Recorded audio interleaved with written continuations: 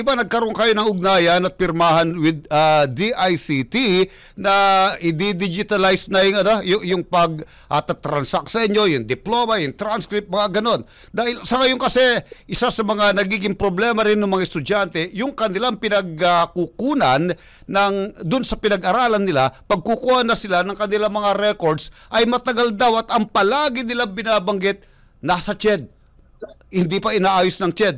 In short, ang lumalabas sa kontrabida rito kayo eh, ang bagal kumilos ng CHED. Totoo ba to? Eh, Maayos na ba to? Kaya nga gusto kong ma-digitize yan para makita kung nasan yung dokumento. Kasi Mm. minsan eh, ah, late nag-submit yung mga pamantasan ng kanilang mga list of graduates para bigyan ng special order. Siyempre, pipila lahat yan pag nag-submit sa CHED. Tapos sasabihin nila, hindi ina-action na ng CHED. Mhm. So, mas magandang naka-digital ito para pwede nating i-track. No? So, yung pinirmahan natin sa DICT ay para makasama do sa platform ng e-governance among the government agencies. Ito'y maraming uh, departamento ang kasama dito. Ang alam ko ay magpipirmahan sa Malacanang sa Friday para yung uh, Filipino citizen, kung may, kailangan niya ng serbisyo ng pamahalaan, doon na siya pupunta sa platform na yan at Aha. pwede siyang pumunta doon sa CHED para ma-access niya halimbawa yung tinatawag na CAV. Yan Aha. yung laging hinihingi sa CHED, yung Certificate of uh, Authentication and Validation. No? Kung magagawa natin yan ng pwedeng nilang makuha yan electronically, edi mas maganda.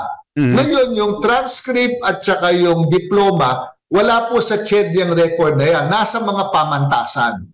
So, ang kailangan ay ma-digitize siya ng mga pamantasan at gagawa tayo ng inventaryo ng mga pamantasan na maganda na ang paggamit ng teknolohiya na pwedeng sumama na i-digitize at saka gawing accessible din yung kanilang mga records electronically. Aha. Parang ito yung pag kumuha ka ng birth certificate, mag-apply ka online, magbabayad ka, dadalhin by courier sa iyong kwan, sa iyong bahay.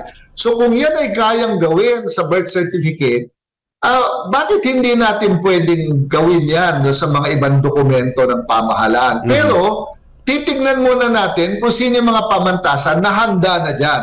Ibig sabihin, may alam na nila yung paggamit ng teknolohiya, magandang IT system nila, at pupulungin natin sila at isasama natin dito sa proyektong ito. Kailan po magiging digitized ang CHED?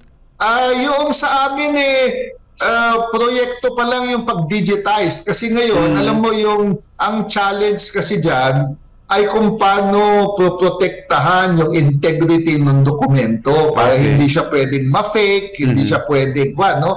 Kaya as, ang sa amin yung CAV piniprint yan sa special paper Ah. para hindi pwedeng pikein, no? So kailangan gawin natin na electronically na merong safeguard sa integrity ng dokumento para kung ito'y ma-access, makikita electronically o maisas, maibibigay sa inyo na hindi na kayo kailangan pumunta sa CHED, kailangan yung security ng dokumento ay garantisado. Parang Okay. birth certificate din, di ba? Mag-a-apply ka online, magbabayad ka, Ah. pero ipadadala sa iyong bahay.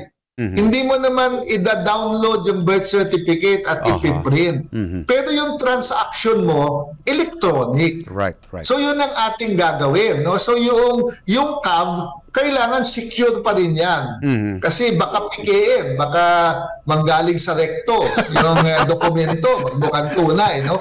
So kailangan garantisado yung security ng dokumento. Pero ang kakaiba, hindi ka na kailangang physically pumunta sa CHED para kunin yon. Right. Pwede mo nang i-apply online at ipadadala na lang sa iyo yung dokumento.